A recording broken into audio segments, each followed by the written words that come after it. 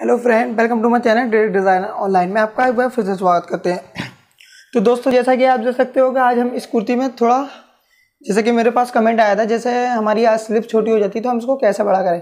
तो दोस्तों, ये वीडियो मैंने खास तौर उसी के लिए बनाई है। तो दोस्तों, इस वीडियो को एंड तक ज़रूर देखें और जिन्हें अभी तक मुझे सब्सक्राइब नहीं किया सब्सक्राइब करें, ज़्यादा से ज़्यादा शेयर करें लाइक करें और कमेंट करें कमेंट करके बताएँ कि आपको मेरी वीडियो कैसी लगे।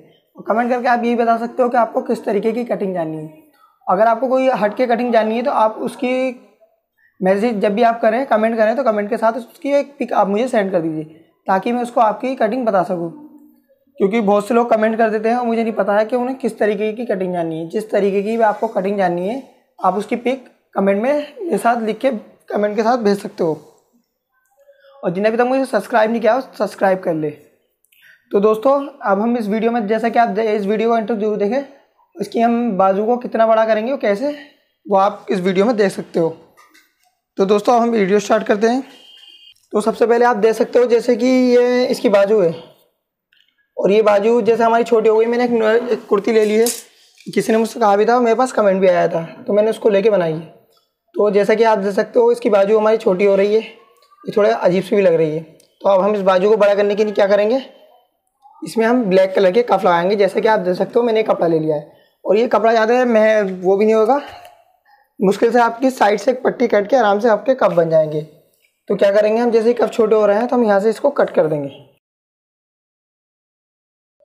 यहाँ से। क्योंकि आप इसको काटा भी वो करेंगे, उधेड़ा उड़ाएगी तो कपड़ा इससे फट सकता है। इससे अच्छा आप इसे कोने कोने में से काट सकते हो। इसको इस तरीके से काट लें। तो जैसा कि आप देख सकते हो, हमने इसे काट दिया है, अब हमने इसको साइड को रख दिया है। तो अब हम इसकी देखते हैं लंबाई कितनी आ रही है। इसकी लंबाई है हमारी बीस और हमें इसकी रखनी है चौबीस। तो क्या करेंगे? हमें साढ़े चार इंच का एक कफ काटना है, साढ़े चार इंच का। तो जब हमारा कंप्लीट हो जाएगा तो साइड से इस वाली बाजू को भी हम ऐसे कट कर देते हैं। क्योंकि बहुत से लोग गर्मियों में इसलिए हाफ़ नहीं पहनते हैं, क्योंकि जब हमारी स्किन पे जब धूप पड़ती है तो आगे दे, देख सकते हो आप कितनी बुरी हो जाती है हमारी स्किन जहाँ जहाँ धूप पड़ती है वहाँ वहाँ अजीब से हो जाती है हमारे। कहीं काला कहीं सफ़ेद। तो इसलिए हम गर्मी में ज़्यादातर फुल स्लीव पहनना पसंद करते हैं।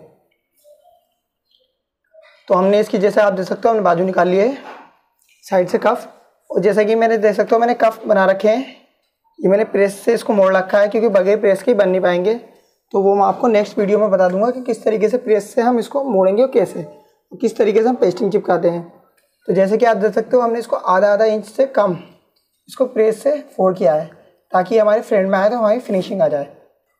और नीचे कभी भी हम रखते हैं तो उससे थोड़ा तीन सूत एक्स्ट्रा लग सकते हैं, ताकि वो सिलाई में अंदर दब जाए और हमारा कफ इस तरीके से कंप्लीट आ जाए फिनिशिंग से।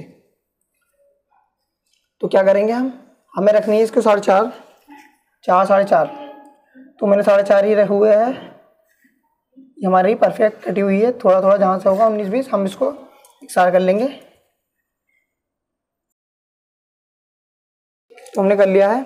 तो हम इसकी चौड़ाई जो है, इसको गोल में हम रखेंगे साढ़े नौ। हमें नौ कंप्लीट चाहिए तो हम रखेंगे साढ़े नौ ही। साढ़े नौ इसलिए रखेंगे ताकि हमारा एक एक दो दो सूत हमारा सिलाई में दब जाए।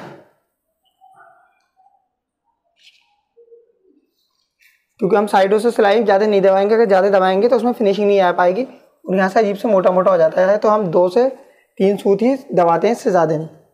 तो जब हम इसको लगा लगाएँगे तो हम चार इंच इसमें लगा देंगे। हमने साढ़े चार काटा है, क्योंकि आधा इंच हमारा इधर, आधा से तीन इंच हमारा सिलाई में दब जाएगा सूत। तो जब हम इसको लगाएँगे तो ये हमारा कप जैसा कि आप दे सकते हो, हमारा कप थोड़ा बढ़ जाएगा।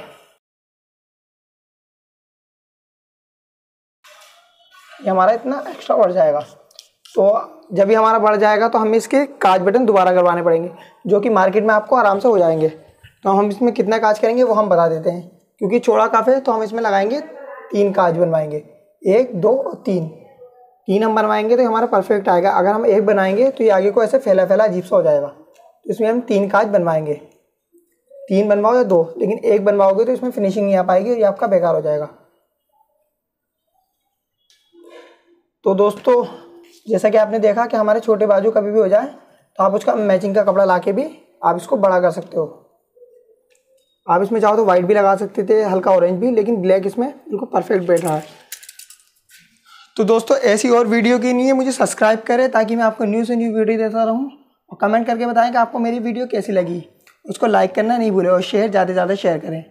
तो दोस्तों, मैं आपसे फिर कह रहा हूँ, अगर आपको किसी भी न्यू तरीके की ईद आ रही है, जैसे बकरा ईद आ रही है, आपको न्यू से न्यू डिज़ाइन का कुर्ता अगर चाहिए हो तो आप कमेंट करके उसकी पिक मुझे भेज सकते हो, ताकि मैं आपको उसकी कटिंग बता सकूँ।